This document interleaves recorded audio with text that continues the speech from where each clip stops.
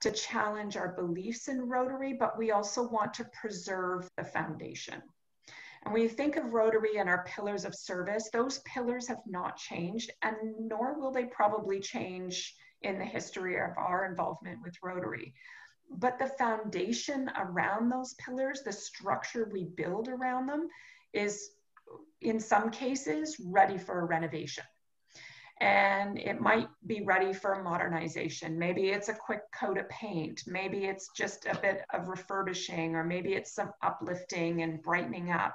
Maybe it's modernizing, and maybe for some, it's a complete overhaul. we got to just stop doing what we're doing because we're starting to, to fade away.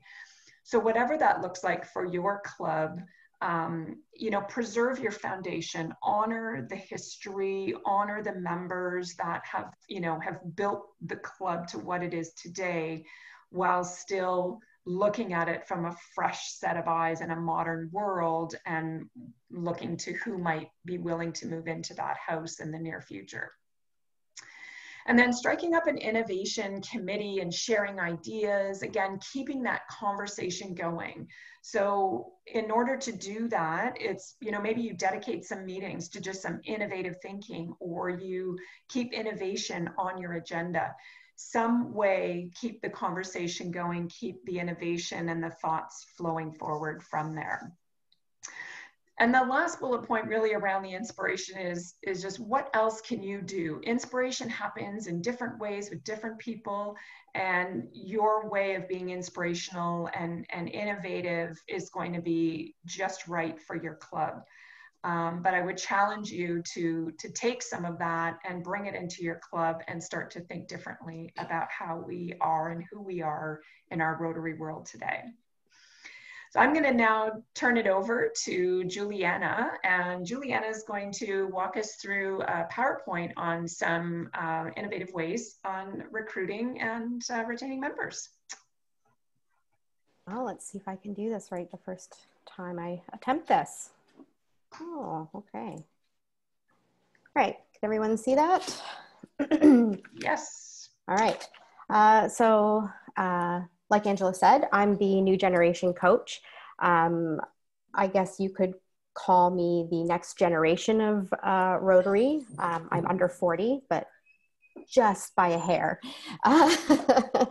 um, so um, we, the committee put together basically, um, you know, some slides that would just kind of, um, you know, talk about what we could do to um, you know boost membership a little bit. And the first thing we need to do is um, you know kind of do a little bit of a reality check.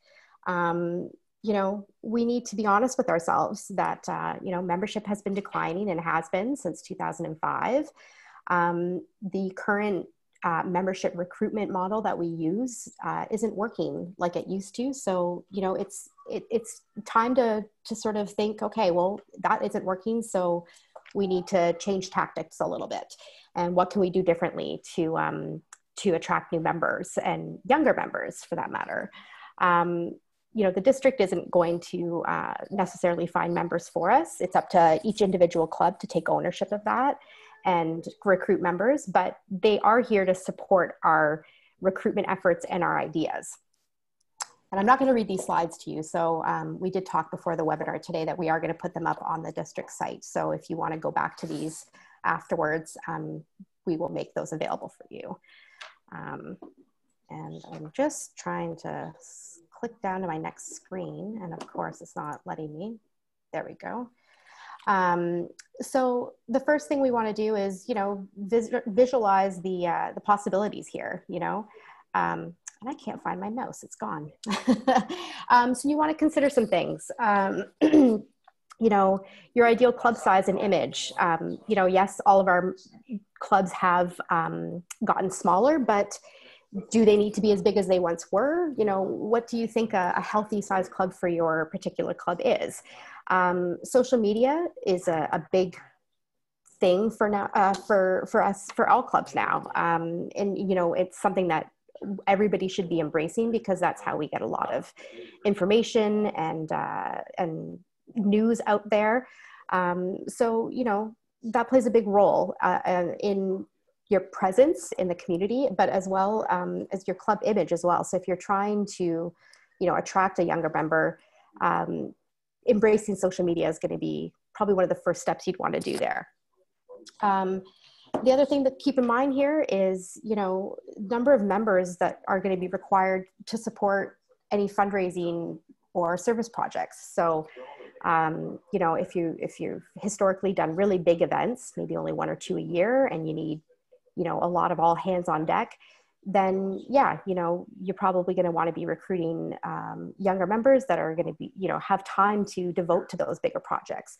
Um, if not, maybe you need to think about um, scaling back some of the size of the projects and doing something that's a little bit smaller, little, not necessarily less important, but maybe a little more simplistic that is going to be easier to to uh, to pull off.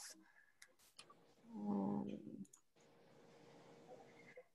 are these in the right order? I feel like I can't see my other ones, so I'm hoping these are in the right order. Yeah. Yeah. good. Okay. I can't seem to get my mouse, so. Um, so what if we plan for evolution? Um, ask yourselves, you know, what needs to change in order for our clubs to grow and evolve? So, um, you know, one of the things that we've talked a lot about at our committee here is to, you know, shift our, some of the wording or some of the uh, vocabulary that we use. So instead of calling them meetings, which, you know, let's be honest, especially in 2020, we're all kind of meetinged out, especially with Zoom. Um, you know, call them gatherings you know and and you know the idea is we want to create those connections and and make them meaningful. So you know meetings can kind of sound dry and boring boring um, but if they were gatherings and maybe we were doing something a little more hands-on i think people would find value in that and want to participate want to be involved.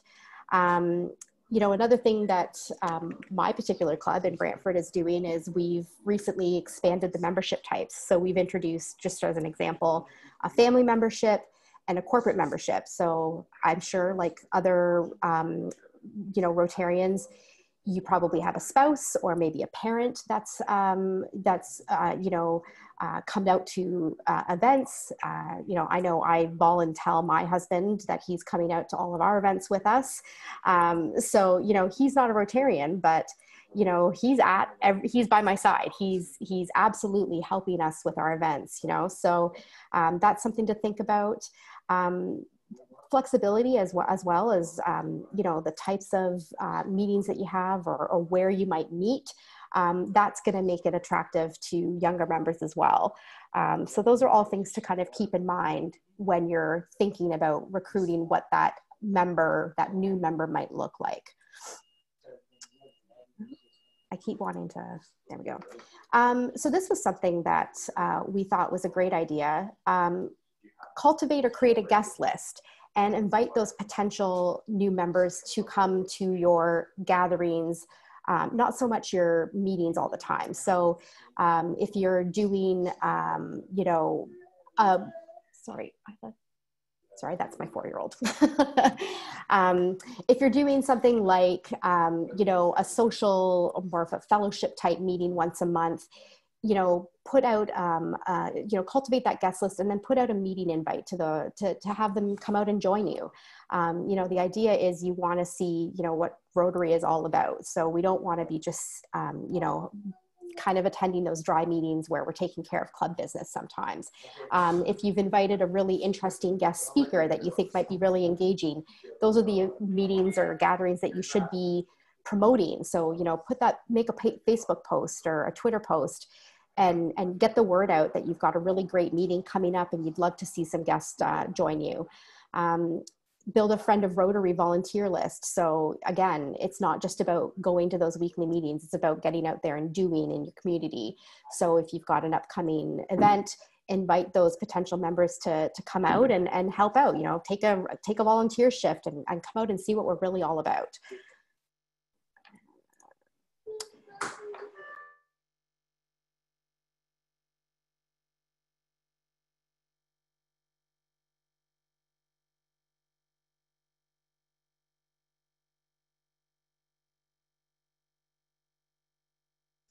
So Juliana, you muted yourself.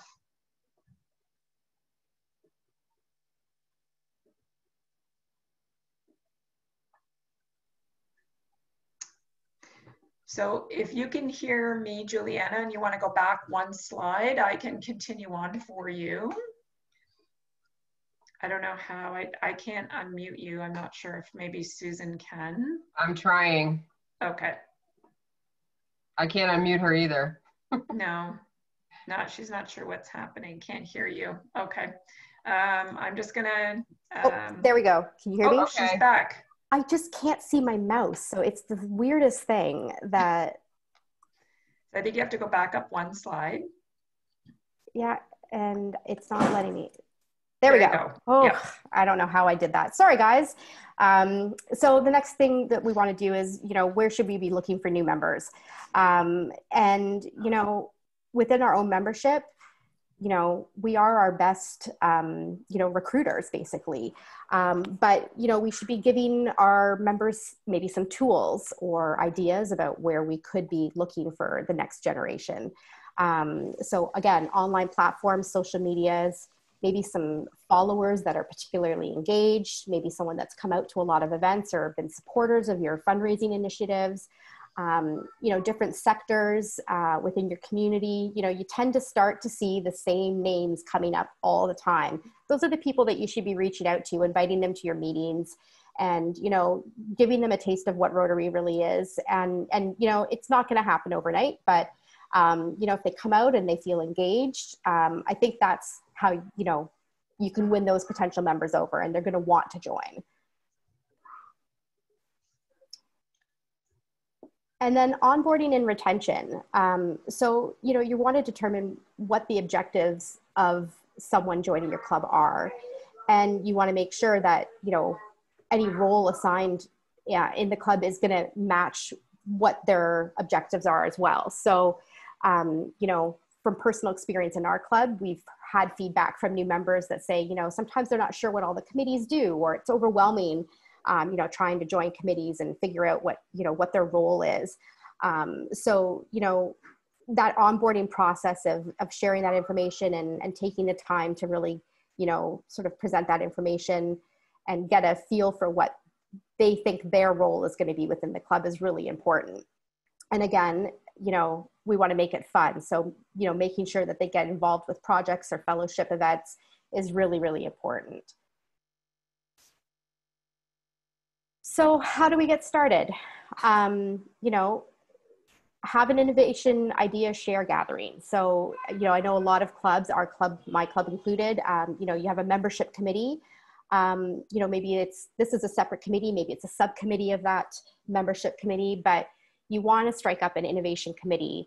Um, your teams um, or pods, I know uh, some groups call or some clubs call them pods, you know, challenge them to think outside the box and, and get creative with meetings. So instead of just having weekly, you know, meetings, maybe take one of those meetings and do something a little bit different. Um, it could be, you know, um, Angela had some really great suggestions or examples. Um, you know, they recently because we've been meeting on zoom for months and months. Um, they all decided during a nice um, you know week of, of weather they decided you know what? We're going to meet in person socially distanced of course.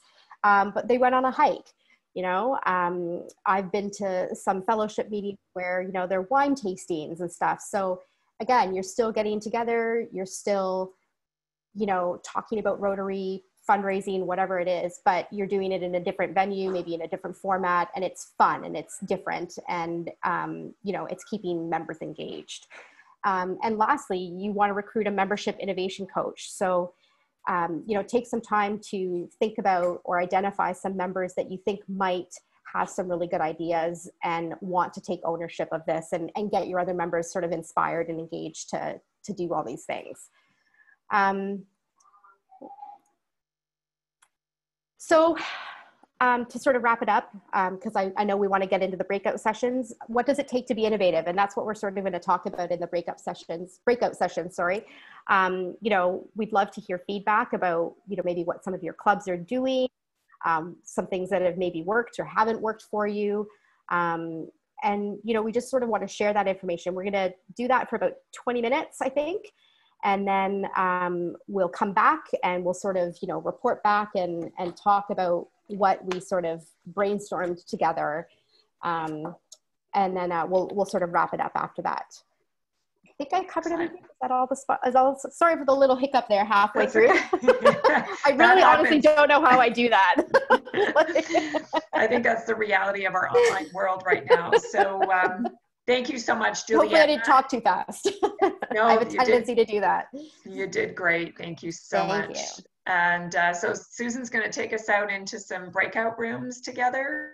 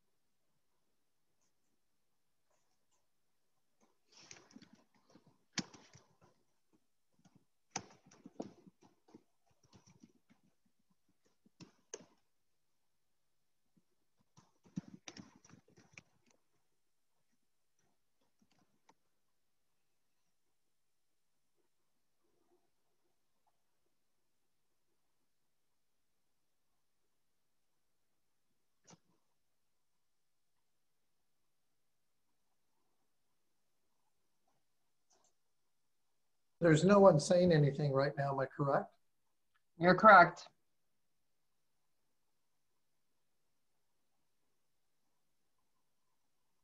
Have you broken this into rooms or not? I'm manually assigning. My auto assign isn't working. Uh, so- Bit by it's bit, the group is shrinking.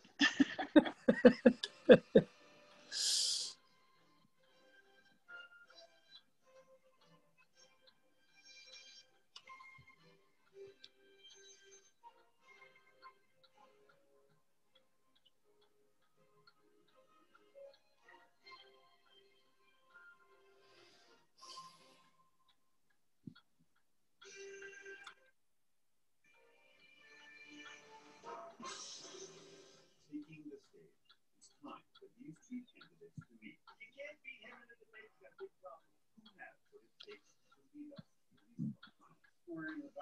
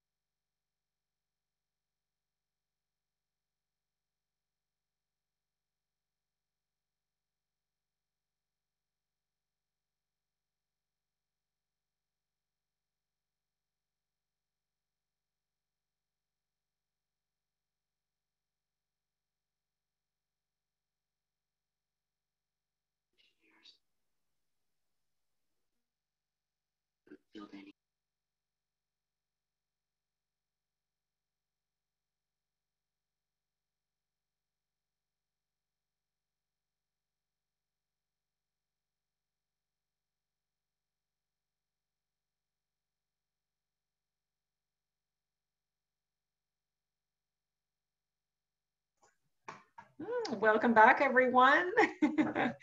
I don't know if all your groups were the same as ours, but we're caught midstream talking and then Yes, yes, we did that too. Yeah, we, we got through everybody except one, and I apologize for that. But, uh, yeah, we were, uh, yeah, it kind of got shortened a little bit, so. Uh, that's okay. Well, well, hopefully we'll be able to share. Um, we'll have enough time to share. So we've got about 15 minutes for the facilitators of each group. We're just going to share real quickly some of the conversations that we had and some of the ideas that uh, were shared. So uh, maybe I'll start with you, Sue. Do you want to kick us off? Sure. So our group, uh, we, some have had success and some have had uh, not as much success with the, the Zoom uh, platform. A lot of clubs are trying uh, doing like one Zoom meeting, one in-person meeting if possible. Uh, the younger generation seems to like Zoom because they can do the uh, meetings in their car on the phone, uh, going to and from. Uh, but uh, some of the older members, you know, that that is the big thing for them was, uh, you know, meeting in person. And so a lot of clubs are trying to do in person and Zoom to try and satisfy both things. Um, they're talking, a couple clubs have tried doing the family membership and the corporate membership with varied success. Um, and uh, the uh, the one thing that they had asked about was um, uh, they had a couple people that because of Zoom meetings dis, uh, asked if they could put their membership on hold or like take a leave. And there's no way in uh, like in the membership part, the club runner, where you can put um, a thing on hold. You either have to cancel them right out, or just uh, you, like you can't just put them on hold. So I know we had a similar situation in our club where there was two older members that just weren't um, enjoying the Zoom and whatever, and asked if they could take a leave for a year until they could see what was going on. So what we ended up having to do is cancel their membership, but they can be reactivated at any time. And we had to cancel the membership so you don't have to pay the district fees and, and the international fees for those two people. Um, so yeah, so there's uh, there's been a little bit of things like that where people want to do something on hold or hold their membership until they see how things are working out. And uh, there isn't really a way to do that without totally losing them. Okay. Uh, anything else, Sue, or is that that sums it Uh, up? no, I think that, I think yeah, it was mostly uh, you know they're everybody's dealing with the same issues everybody else is dealing. Fundraising is kind of messed up. Um, uh, and, and Lauren just said in the chat you can make uh, those members honorary members as well. Yeah. Uh, but Great. the, but the thing is, is honorary members you have to pay the fees. So if your club is uh, fortunate enough to be able to have the money to pay those fees for honorary members, that's great. But some clubs, some of the smaller clubs, they can't afford that. So Excellent. We're, okay. we're not So we're we're we're gonna actually move on. Honoraries. Sorry, Sherry. We're not gonna have enough time to talk about this particular issue for clubs, so I'm gonna leave that for. Um, we'll post it up on the website. Penny, I'm sure can add to that through another forum on the website. Otherwise, we won't get through everything tonight. So thank you. sorry about that. Um, okay, thanks so much, Sue. We'll move on to Jim Andrews, your group.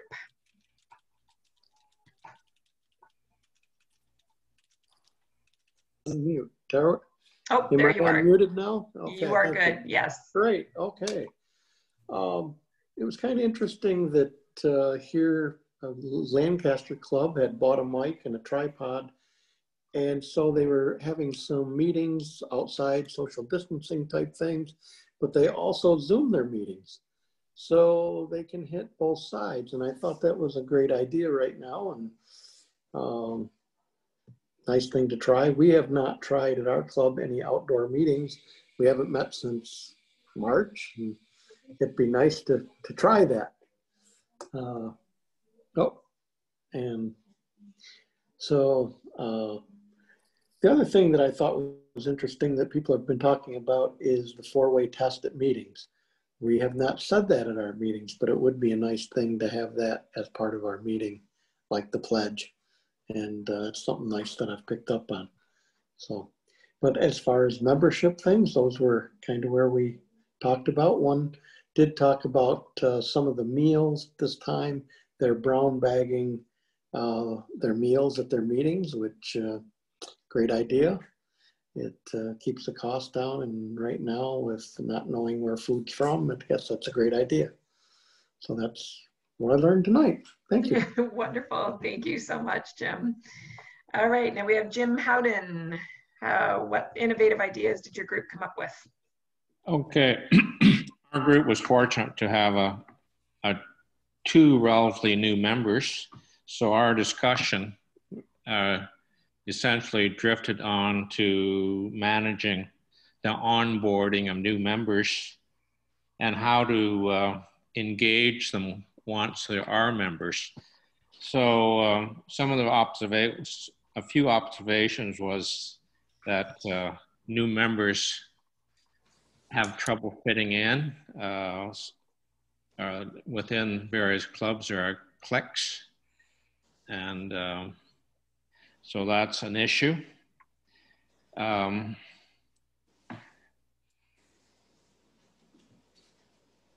and um, sometimes they don't really know why they're joining the club. They don't understand Rotary.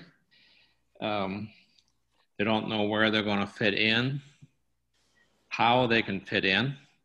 So, um, what came out of that discussion is that uh, there needs to be a mentoring committee or plan that uh, someone uh, guides the new members for the first uh, while, like you wouldn't, much like you wouldn't um, onboard a new employee. You don't usually say, "Here's your desk and go, go for it."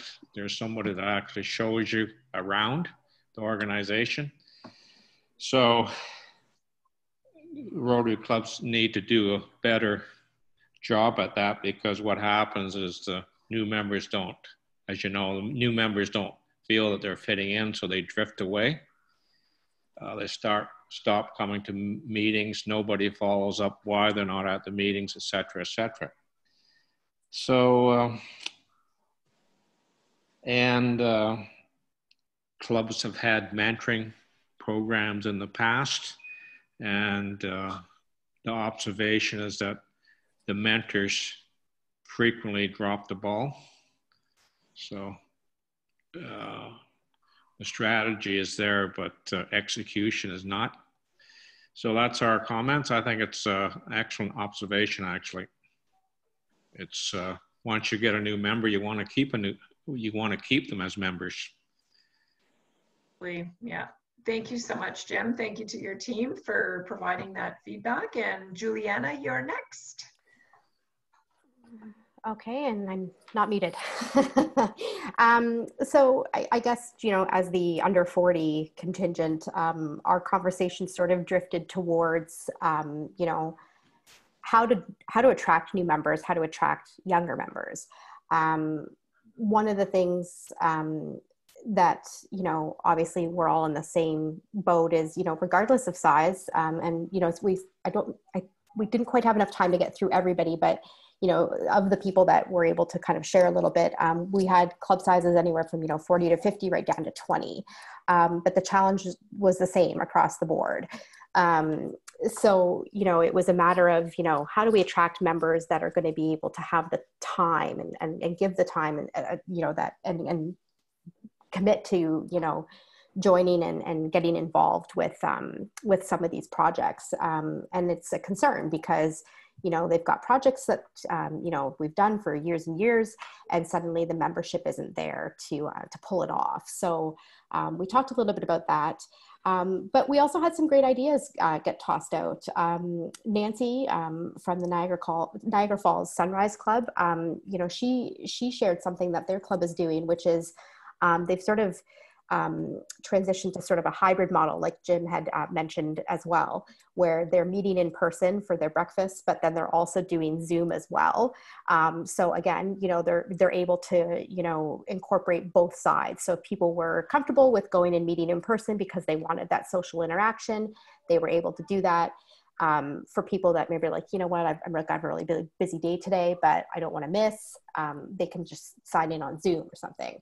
Um, and the other thing that they've done there is um, they did away with their membership committee and the entire club, uh, so all 32 of their members, are now the membership committee. So they've really sort of taken ownership of, um, you know what, we're, we, all, we are all responsible for this. It can't just be on you know the plates of you know a handful of people we all know people we all know great people in our communities we all should be making more of an effort to invite people to come out see what we're all about so i, I thought that was a really great idea um, we also talked about, you know, the use of just promoting the club, you know, activities and stuff in general. So at any events, you know, there was a lot of talk about brochures, about, you know, talking about, um, you know, what Rotary does and, and what we do. Um, again, it's all about, you know, providing that information. I mean, and, and I've, I, I don't think I said it in, during, during the slideshow, but I mean, how many of us have been asked how many times, what is Rotary? you know and um, and i certainly get that as a young person you know people my age will go well what is rotary? What do you do? Like you know because they don't know what it is. Um, and then lastly we just sort of talked about well okay if we're trying to attract younger members what are some of the challenges or hurdles that a younger member would have that would keep them from joining? So um, we talked a little bit about um, you know is it a cost issue is it a time issue maybe they have a job and that they'd like to get involved, but they're not able to take time out of their day um, or leave work for you know an hour or two once a week. Um, that uh, you know it just it's a it's a hurdle there. So maybe you think about okay, um, can we do more Zoom? Can we think about switching our meeting time? Can we relax our rules about attendance so that maybe somebody doesn't have to be there for meetings all the time but still wants to be involved. Um, we talked about um, you know getting families involved. Um, i come from a rotary family. My dad uh, was a member and joined when i was nine. And so i grew up with the club and now i'm a member. And my husband gets told to come out and do a lot of things with us. He doesn't get invited, he gets told. Um, but, you know, when my daughter's old enough, she will come out to members. And so we talked about, um, you know, making some of our events, um, whether they're fellowship or fundraisers, more family friendly. So, um, you know, instead of having a black tie gala where tickets are $100 um, maybe it's a family event that is a little more cost effective that can involve the whole family um, so those were just some of the ideas That's that we excellent. kind of touched Wonderful. on a little bit. Yeah. That's great. Thank you so much for sharing. I'm probably missing a lot of really club. good stuff. That's okay. But- I know there's only so much time in an hour that we can Yeah. do this, so I'll just quickly share with uh, what happened in my group. We had some really great conversations as well- as well and some ideas. So some of them have already been shared here with the other groups, so I won't um, reiterate those. But one of the really cool things we heard was that they changed up the way in which the process of Rotary works. So typically a member would come in, they would have to be vetted by the board, and there's this whole process they have to go through. So to try and uh, speed that up and to make it more interesting, one of our clubs actually asks every member to go out and bring forward the name of a potential member that they feel would be good for the club. They bring that list to the board. The board then pre approves that list for membership. Then they have a social and they invite all of those potential members uh, to that social to introduce the concept of Rotary and how they could get involved. And as a result, their membership has gone up. I thought that was a fantastic way of sort of honoring the Rotary, you know, process, but yet changing it in such a way that it's um, really helped to um, to recruit more effectively and efficiently. Lots of surveys being done right now as well with existing members, former members, exit surveys, and finding out lots of really good information there. Um, talked about also different tiers of membership, so not categories, but also different tiers. And um, the other was dropping, another really cool thing is dropping the old events that maybe aren't, you know, bringing in the kind of um, vitality, I guess, as they used to, and changing it up and creating new ones. So one was a drive-through rib fest that happened versus the physical in-person rib fest, which resulted in some new recruitment of ideas and um, uh, new members and, and new ideas into the fundraising world. So so really great conversations and i think it comes back to you know the fact that you've got what you need within your club. And if you have a small club please uh, reach out to us. We have a, a, small club innovation coach and the district can help you um, to again connect you with some other clubs that might be able to be mentors for you and and begin to support the process. So um, it's been really exciting to hear all of this. I think just shifting our mindsets to one of innovation and vitality and growth. And um, I think is going to go a long way for us. And it, it we it's just going to spark some new conversations and it's going to have us function differently. It has no choice but to do that. The more you talk about it the more things are going to happen. So let's just all talk about innovation and creativity and and let's be brave and try new things um, so we're just going to ask you in the last couple of minutes while we're doing uh, a few of the final wrap up things tonight, just to give us some feedback on what you thought of today's session. Um, this is going to be the first of a series of them. So we would love uh, you to let us know what you liked about it and if there's any ideas that you have, innovative ideas for what we could do, uh, we would appreciate those. So I wanted to um, encourage everyone to uh, read the district newsletter coming out very shortly, um, where the innovation article that I went through at the beginning will be in there. We'll also be posting it up on the website. I'm also going to be uh, writing up something on what a membership innovation coach is, and uh, that will be just to give you a little snippet. I kind of see it as someone who's going to harness the innovation, innovative ways to bring members aboard um, as opposed to perhaps the administrative role that a membership chair in your club might have right now. And I love the idea of the entire club as your membership committee because I know one person is responsible for it. But if we have a champion in each club who is having the conversation about bringing in innovative uh, ways to bring in members, um, then that conversation again will continue to go. So um, to wrap us up here, I'm going to um, first ask uh, Al Luchin. Al is going to talk to you a little bit about some of the upcoming PI sessions this month, and then we're going to finish it off um, with Frank, and then uh, also let you know on October 27th, the next Rotary Web Talk session will be on using Club Runner. And so all of our sessions are up on the district website on the calendar, and actually it's right on the homepage. If you just go to upcoming events, it'll give you the series of what we've got going on. So I will uh, turn it over to Al to tell us a little bit about the upcoming PI sessions. Yeah, thank you very much, Angela. Very uh, inspirational hour, and I really enjoyed your opening remarks. And congrats to you and your team. You're doing some awesome work. So, just a little bit about the uh, uh, social media training we got coming up. So we do have a big session tomorrow night. It's our launch session uh, from 6.30 to 7.30. We're calling it uh, social media training. Uh, if you haven't signed up or registered, please do so. You can, uh, you can go on to the upcoming events on the district website and just press that. It'll take you to the landing page and you can, you can sign up for Social Media 101. That's tomorrow night. And then we have a second session coming up on October the 8th also at 6.30. So when you're on the site uh, later tonight or tomorrow, you can, you can sign up for both. We'd love to have you. Thanks very much. Thanks, Angela, for the opportunity. You're welcome. Thanks very much, Al. Um, I'll also be sending out an invitation to our membership uh, chairs and uh, club presidents. There's a session that District 7080 is doing, um, and they've got a, a really dynamic speaker who is going to talk about the next generation of Rotarians. So uh, look for that in your inboxes. Uh, that should be coming out tomorrow morning.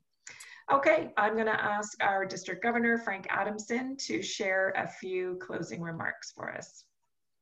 Thank you so much, Angela. Um, my apologies for stepping in late. Uh, we had a zone district governors uh, meeting at the same time tonight, but it was boring. So I thought I'd jump out of that and come come into my own district's meeting. So uh, good to be with you. Uh, good to see the great turnout. Uh, just wanted to thank Angela and Juliana uh, for uh, pulling this all together and for all the great work you're doing on behalf of the district. And for everybody, all, all Rotarians, for all the good work you're doing. So again, I, I, what I've picked up out of this is I'm stopping using the words meetings. I love gatherings or, or events. And I think that's got to be more of what we, uh, what we do. Uh, meetings are boring. Um, I can tell you that as governor, I go way too many meetings. I'd much rather be at some gatherings, but uh, uh, just just thanks to everybody for uh, uh, for sharing and participating. Uh, we've got a great team. You're all part of that team. And uh, as you all know or should know, or if you don't know, my goal is to have every club increase their membership by four members uh, by the end of um, by the end of my term as your as your governor. And if each and every one of us takes on that responsibility, um, we can actually surpass those numbers. So, again, um, thanks everyone, and um, uh, thank you, Angela. Welcome. Thank you so much, Frank. And thanks everyone for joining us. Go out there, get innovative, bring some new vitality to your clubs. And I look forward to seeing you on the next Rotary Web Talks. Have a wonderful evening, everyone. Everyone, have a good night. You too. Thank you. Good night. Good night. Good night. I'm going to go eat my dinner. I have to eat mine too.